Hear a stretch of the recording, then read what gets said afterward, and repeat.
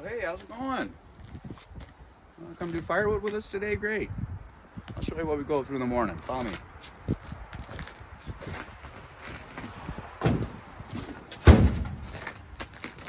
Oh, first we gotta chuck the truck out. Make sure she got fluids and everything. Let's go have a look. Basically, just look at the outside of it. Make sure there's plenty of oil on the outside, because if there's oil on the outside, there's oil on the inside. There's a dipstick though. Fluids in there. It's green. Looks good to me. Everything seems in order. Let's check the tires. Yeah, there's a tire. There's another tire. Check our big old stack of springs here. Oh yeah. Looks great. Perfect. Plenty of self-lubricant in there. Brand new shackle. That tire's got air in it. Looks good. Shackle's good. Oh yeah, we're gonna run it.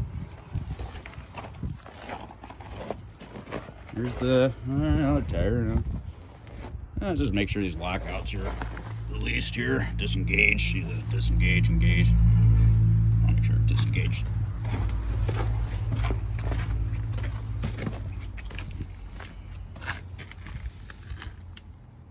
disengage. Yep, we're good. Done a little bit of work to this thing. Pretty simple and reliable. Belt's a little loose. We'll fix that. Might squeak a little. All right. That's good. Satisfying clunk. Well, let's get her started. Well, we're in the truck. Cut out the part where I climbed in. It's embarrassing. I don't want anybody to see that. So, some people forget what it's like to start a carbureted vehicle. I know I had forgotten when I bought this truck, 1980 Chevy K20 with a 292 straight six, in case anybody's curious. Pretty simple process. You got your throttle down here, kick it to the floor, pull out your manual choke with the pedal to the floor, release the pedal, turn that fan off, blowing around cold air. Give it a twist, you're gonna hear it burp. Oh, start right up that time. Now once you hear it burp, you just kind of push the push the choke cable in a little bit, get some air. Let's go outside and see how it sounds.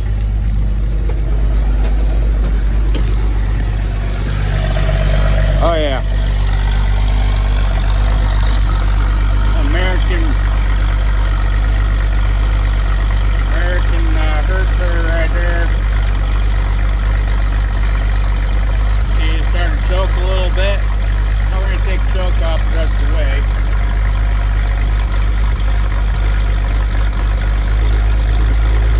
Right out. That's the boring part. We're gonna sit here and let her run for a little bit, get some temperature in her. And uh, I'll up in a minute. We'll show you what it's like take a ride in it. Okay, she's all warmed up. You ready to go, bud? Let's go. Pop in reverse. Can't move. Oh, there we go. Uh, stuck in the ice. Don't move, don't worry.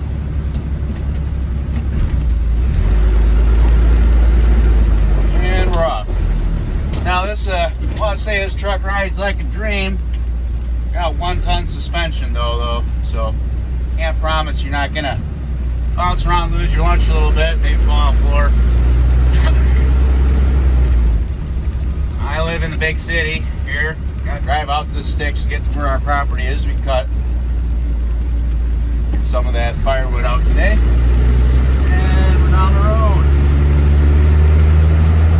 Uh, 20 degrees this morning. I didn't necessarily wait for the truck to warm all the way up. Take forever for that. Can't afford the gas, so just get down the road, let them warm up on the way. Now, if I'm real careful, there's a gas station up here. And if I'm sneaky, she won't see it. Because boy, I tell you, if she sees a gas station, I'm going to have to pull right in. I hear air coming through my door. Okay, good. Run it. What you call it, clap dog gears here, guys? got one purpose. It's a big old, big old rusty hammer. Delivers wood, hauls metal. Not much of a grocery getter. Three-speed automatic transmission.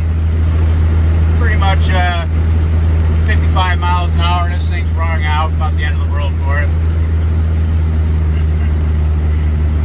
Nice to drive around though.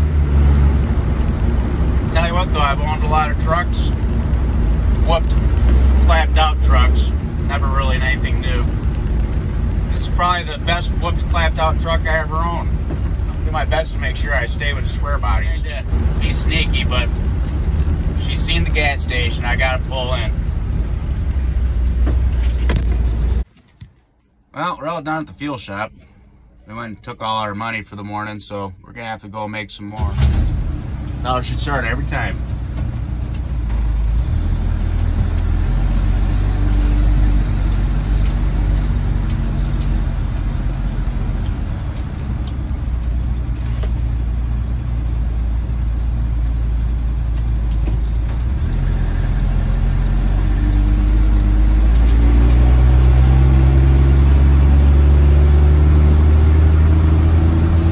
Hi ho, hi ho. It's off to work we go. Gonna make some firewood, sell it to the people, make them warm. Woohoo. woohoo. Truck making a weird sound. Alright. Time to engage maximum overdrive. We're gonna run through every gear.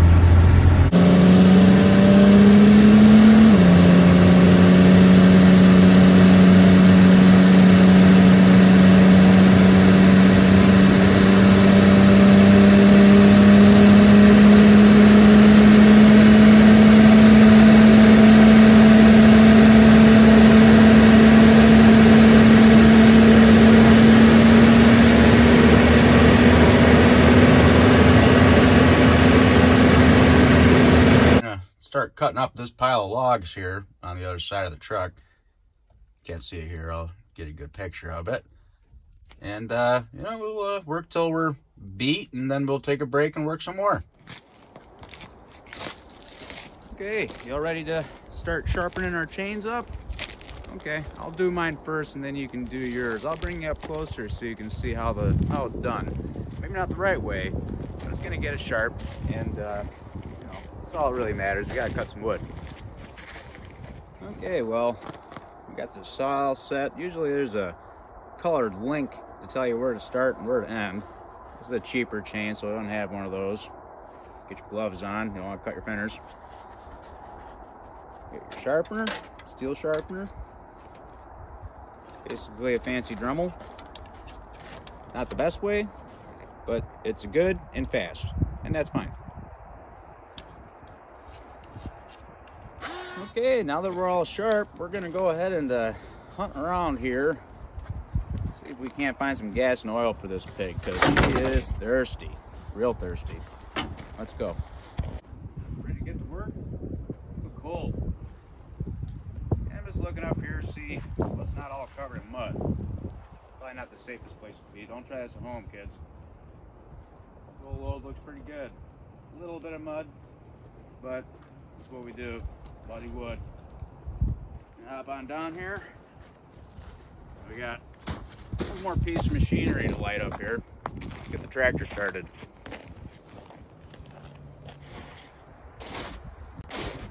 All right. well, starting this old set of clapped out gears, a lot like pickup truck. First, you gotta check her fluids. This is a Ford though, so you gotta make sure the fluid's inside of it. It's got a dipstick. On the other side.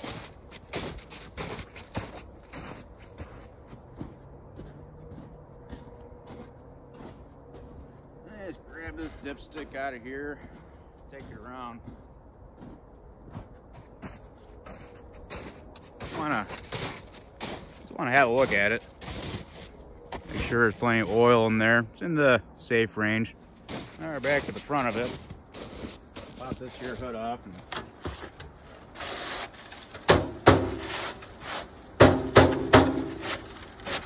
Later on, we're gonna pop that hood off.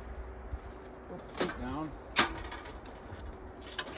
I gotta sit in the old captain's chair here. Make sure all our brakes are freed up. Are stuck, frozen in mud. Perfect. Clutch, frozen.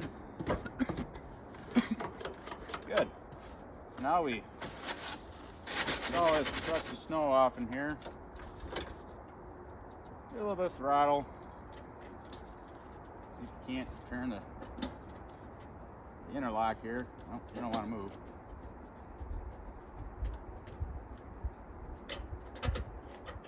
All right, we're in business now, kids. All right, choke it and it over. Hopefully she starts.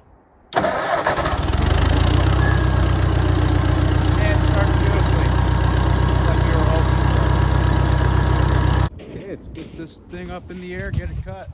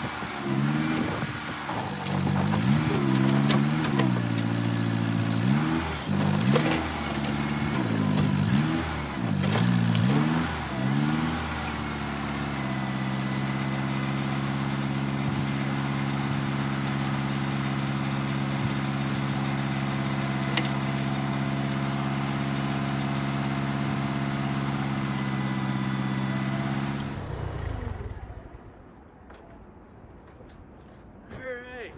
Well, that's not usually how it goes, but it's up off the air, on ground, in the air. Alright, let's get to work.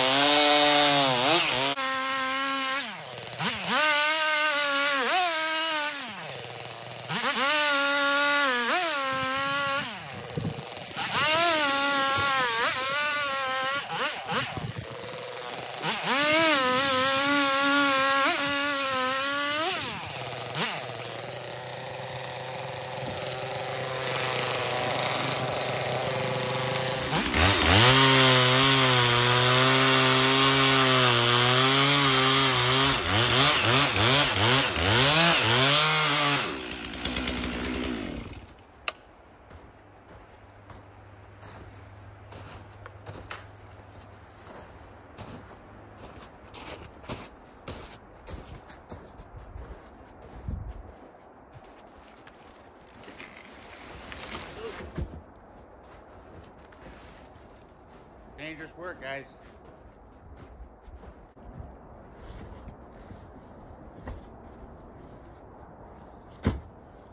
Oh, hi. You had a good day today? We did pretty good for a half day's worth of work. Got probably about three, four cord worth of wood cut up, but the chain on the chainsaw is duller than a butter knife and can't keep burning through all this wood, not getting enough done. So we're gonna call it. Good day. Go ahead and round up all your stuff. We're gonna get out of here, find some warm coffee and hot dinner. Thanks for coming along today. Appreciate it. Bye.